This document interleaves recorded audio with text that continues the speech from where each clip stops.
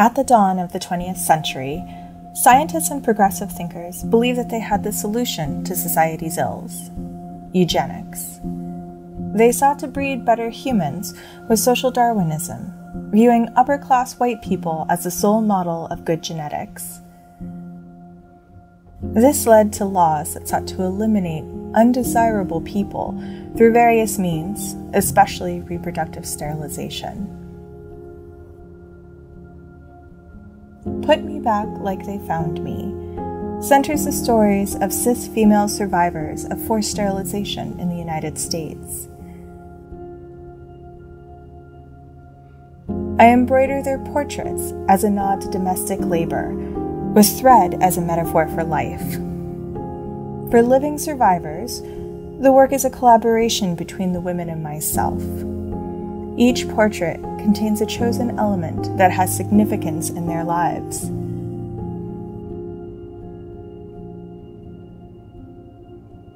Hospital gowns display painted texts that focus on various survivors and the sufferings that they have endured. Carrie Buck was a test case for choosing vulnerable, marginalized people who were deemed unfit. Buck was raped at age 17 by a member of her foster family and gave birth out of wedlock, leading to her institutionalization.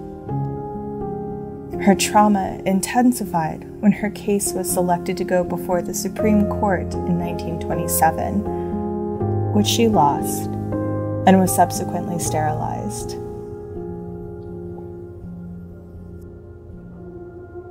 Many states created eugenics boards, where mostly institutionalized people were sterilized, often for the simple offense of being poor, disabled, or in the case of women, deemed promiscuous, whether true or not. California, my birth state, is guilty of sterilizing so many people that Nazi Germany imitated their methods to begin eliminating entire populations.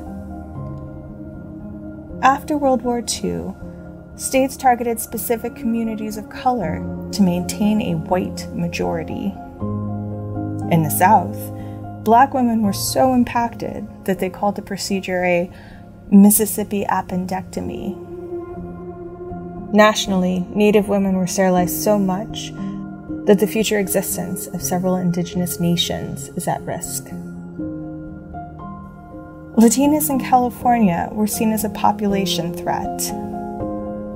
During the 1960s and 70s, doctors at USC LA County Hospital sterilized these women without their knowledge, or coerced them through lies.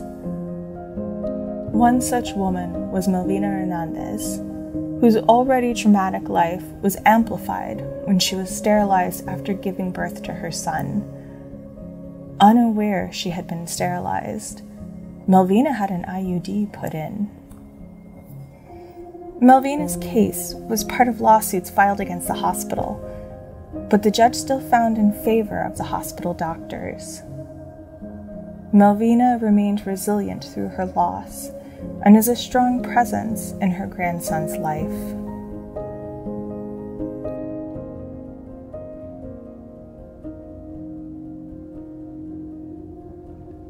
It's hard to know how many people have been sterilized, partly because private doctors and institutions would not tell their patients about the extraneous surgeries that they were performing.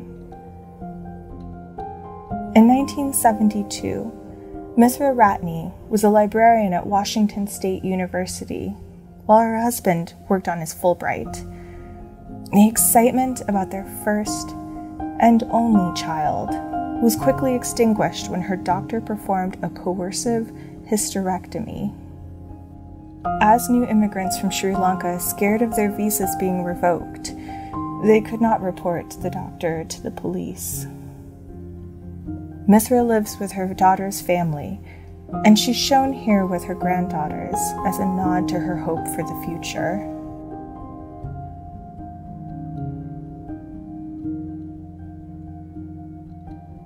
Through several movements that fought for reproductive rights, The era of sterilization boards eventually came to an end, leaving in their wake a wound that has never fully healed. But the past is not just present, it never left. California was investigated in 2014 for sterilizing incarcerated women without adequate consent. Over the past few decades, judges have pushed sterilization to defendants to mitigate their sentences. Donald Trump has often cited superior genes while enacting white supremacist laws and executive orders that reinvigorated eugenics for the 21st century. This includes the atrocious sterilizations of detained women in ICE concentration camps. These stories are reminders that each eugenicist's belief or law has tragic costs. We as a society owe these survivors and their memories our care and demand for justice, in addition to finally ending these cruel violations for present and future generations.